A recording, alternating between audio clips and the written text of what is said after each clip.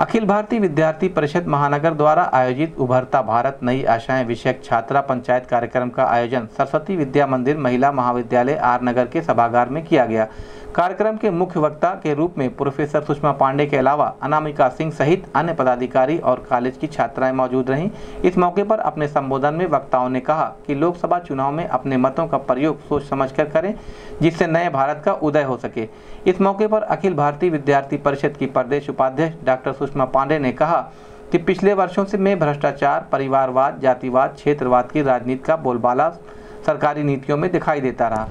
पिछले दिनों उसका दमन होते देखा गया। वर्तमान की राष्ट्रवादी सरकार इन सभी बातों से ऊपर उठकर एक सुंदर, सशक्त, विकसित भारत के निर्माण का संकल्प लेकर आगे बढ़ रही है।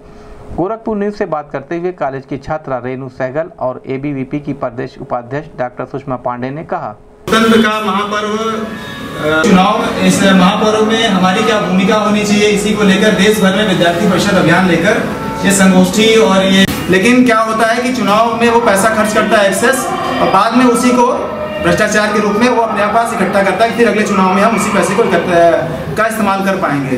तो ज़ाहिर सी बात है, जब हम इस प्रक्रिया का हिस्सा बनेंगे तो हम उसका लाभ नहीं ले पाएँगे। जिसलिए हम उसको चुनते हैं, वो काम हमारा नहीं हो पाएगा।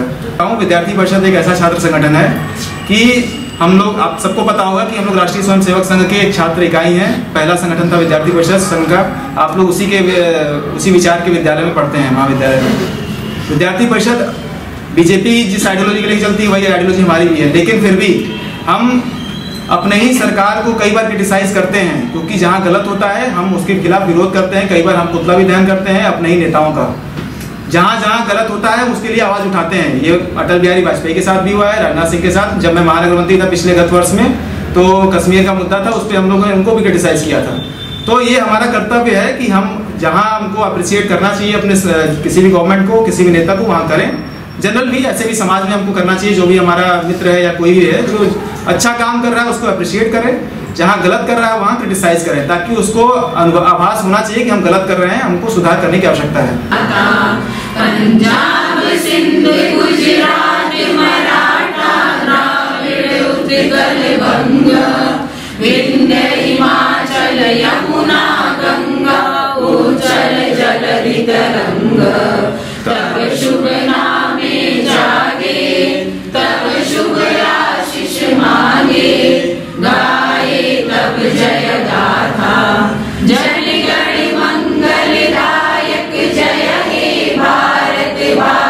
विधाता। जय हे जय हे जय हे जय जय जय जय हे भारत माता की जय।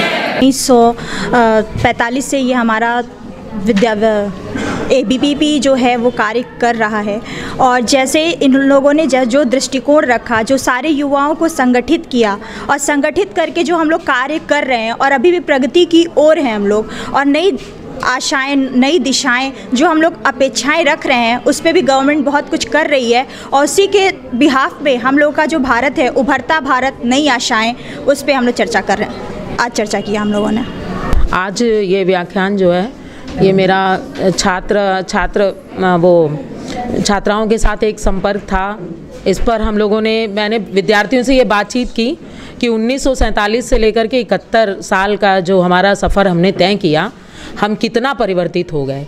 चाहे वो सेना के क्षेत्र में हो, हमारे देश की आंतरिक सुरक्षा, बाह्य सुरक्षा, हमारी विदेश नीति, आर्थिक नीति, हमारी सामाजिक नीति, हमारी आध्यात्मिक परिप्रेक्ष्य, हमारी धार्मिकता, हमारे हमारे संस्कार, हमारे मूल्य, जीवन मूल्य किन किन और शिक्षा।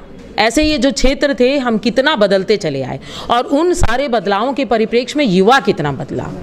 युवा क्या सोचने लगा? जो उन्नीस सौ सैंतालीस का जो युवा था, उससे आज का जो युवा है, वो किस तरीके से बदला?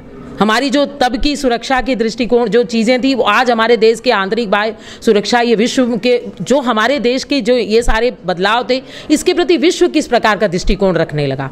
जो एक कमज़ोर भारत, मजबूर भारत था, वो आज किस प्रकार मज़बूत भारत हो गया? ये जो परिवर्तन जो इतनी हमने इकहत्तर साल की जो जर्नी यात्रा तय की वो उस पर मैंने बच्चों विद्यार्थियों के साथ एक सम, हम लोगों ने बातचीत की। विद्यार्थियों ने बहुत सारी अपनी बातें इस पर हमारे साथ की तो ये आज हमारा विषय रहा।